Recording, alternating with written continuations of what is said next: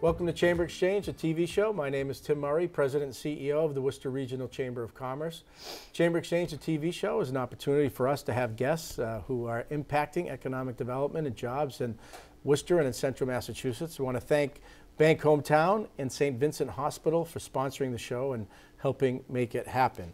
So one of the things that certainly drives our economy here locally uh, is the arts uh, and cultural community and perhaps uh, few with more impact than kind of the Hanover Theater. And I'm pleased to have with us uh, as our first guest is Livy Scanlon, who's the artistic director for uh, the Hanover Theater Rep and managing director of the Jean McDonough Arts Center. Livy, welcome. Hey, thank you for having me. Good. So, you know, for our, our viewers out there who may not, may have heard of the Hanover Theater, mm -hmm. which is called the Hanover Theater because the, the Hanover Insurance Company really made a commitment to downtown and to the arts and to this really iconic venue.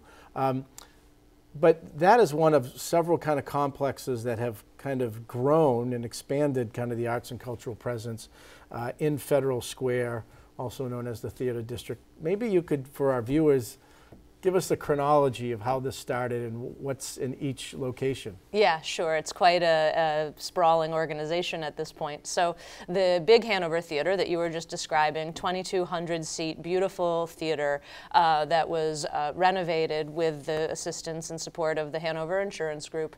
That was fully rehabilitated, renovated, and had its grand opening in 2008. So it's an incredible venue. It hosts all sorts of uh, Broadway tours that stop on their way around the country. Also other major acts uh, like the Jerry Seinfeld and the Indigo Girls and other you know major nationally recognized uh, acts. Then in 2017, uh, the Hanover Theater Conservatory opens. Uh, there's an adjoining building to the Hanover Theater where we have our offices as well as, as all of our conservatory space. So the Hanover Theater Conservatory serves students of all ages, mm -hmm. from mm-hmm. very small children up through adults. We offer classes in dance, uh, acting, and singing primarily. Uh, and there's also a great many education programs like student matinees and STEAM workshops and Adopt a School, which brings students in to see one of the Broadway musicals. So conservatory and education sort of really blossomed in 2017 and are continuing to, to really uh, have a huge impact. Mm -hmm. And then in uh, 2020, very early 2020, uh, the Hanover Theater really um, opens the the Jean McDonough Arts Center, which is a venue on 20 Franklin right. Street. The venue is actually a program of the Worcester Cultural Coalition, which engaged the Hanover Theater to be the managing agent.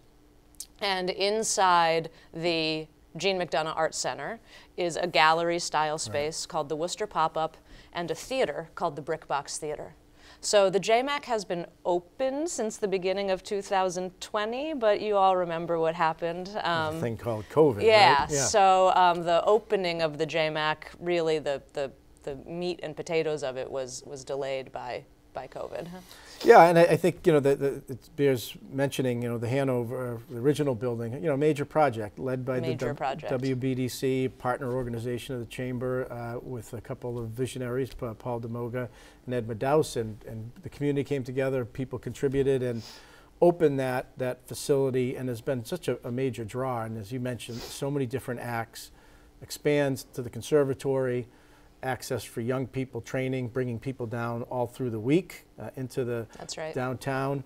I know some of the businesses down there have commented how that that that uh, presence and that uh, those visitors are really instrumental to their businesses. And then the, the JMAC being the most recent, also a building that the WBDC had worked that's to right. redevelop um, the old Telegram building. So really an arts district that's growing and, and you know, so COVID impacted all three since we're kind yeah. of coming out of there and the things have changed in terms of workflows, production. How will you describe the current uh, situation? Yeah, well, uh, one of the uh, unexpected side effects of the pandemic was, of course, the big Hanover Theater closed because right. all of those touring productions were not touring.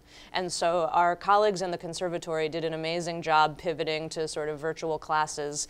And I was there, I had just been brought on I had been only working for about six months when the pandemic really took over. And so I had this, this brick box theater inside the Jean McDonough Art Center that was sitting there empty and unused when it had been intended to be finished and right. glorious and opening and thriving. So my background is actually in producing small small theater. So not big, not big 2,200 seat theater like you get at the Hanover, but small theater like what you get in the in the brick box. And so with the big house shut down, I sort of put my thinking cap on and and went to my boss, Troy Siebels, who's the president and CEO, and said, Hey, man, I have a couple ideas for things that we could make ourselves um, to keep audiences engaged, to keep serving audiences, even while the big house is shut down. And so we called this new program of our own.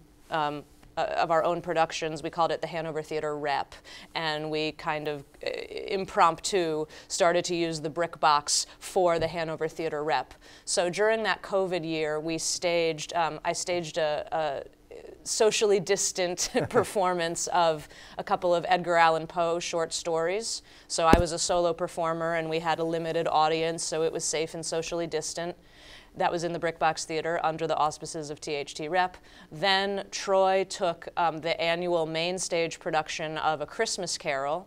He brought it into the Brickbox Theater, pared it way down, turned it into a filmed production that we called A Christmas Carol Reimagined, which we also produced under the auspices of Hanover Theater Rep.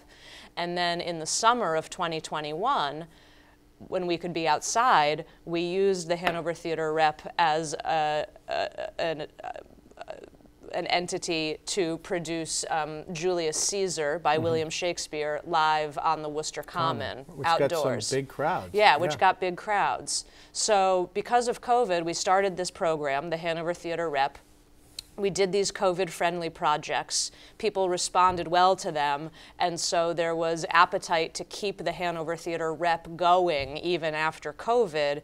And so the Hanover Theater Rep is now the program that we run inside the Jean McDonough Art Center. So Hanover Theater both manages the Jean McDonough Art Center and now also runs this program inside of it. And rep for repertory. Right, right? yes. Uh, uh, and so the other piece of this, and another organization has been a major catalyst in terms of you know, the momentum that's really kind of grown over in Worcester and, and in certain parts of the city over the last 20, 25 years uh, is the Worcester Cultural Coalition. Correct. And they're yep. a partner in uh, this effort. That's right. So the Jean McDonough Art Center is, in fact, uh, leased by the Worcester Cultural Coalition. It is their venue.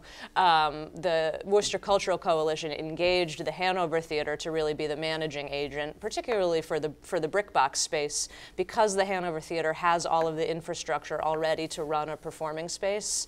The Hanover Theater is um, is the managing agent of the space in order to um, allow it to uh, avail itself of all of that infrastructure. Yeah, and, and the Cultural Coalition consists of organizations like the Worcester Art Museum, uh, the Antiquarian, the That's Hanover, right. but small or much smaller organizations constantly bringing in new organizations. That's right. Yeah, the Hanover Theater Rep is hardly the only program or organization that uses the Jean McDonough Art Center. It is available to uh, really anyone in the community. We uh, we book it on a first come first serve basis as part of our um, uh, processes to make sure that we're equitable and accessible. And so there's all different kinds of performances in the Brickbox Theater. There's all different kinds of events and ex exhibits in the pop-up gallery style space. So it's really a, a, buzzing little building. And Hanover Theater Rep is just one of the programs, one of the organizations that's working inside there. Right, right. Uh, and uh, you know, COVID's behind us now. Activity coming back, both at the Hanover uh, That's right. yeah. Obviously, uh, as well at the um, conservatory and the rep. Why don't you give us an yeah. update in the minute or two we have left? Sure. Uh, the next productions for Hanover Theater Rep are beginning rehearsal on Wednesday. We're going to play Twelfth Night by William Shakespeare in rep, in rotation, in repertoire, with a new play called Judith, which is a solo show that is inspired by Shakespeare and Virginia Woolf and sort of shares themes with Twelfth Night. So Twelfth Night will play four nights a week. Judith will play once a week, um, and those productions are coming up April 11th to May 5th. Okay. Uh, Hanover Theater Rep performing in the Brickbox Theater at the Jean McDonough Art Center. It's a lot of names. Yeah, a lot of stuff. and, and then the Hanover is, is back in terms of booking the, the bigger shows too. That's so- right. The bigger shows are on. I'm particularly excited for To Kill a Mockingbird, which will be playing on the main stage at the Hanover Theater, uh, actually overlapping with um, Twelfth Night and Judith. So if you love plays and you love things that are sort of in the classic canon, come on down. We have a lot for you. And if people want to go online, they can go to TheHanoverTheater.org. Perfect. All right.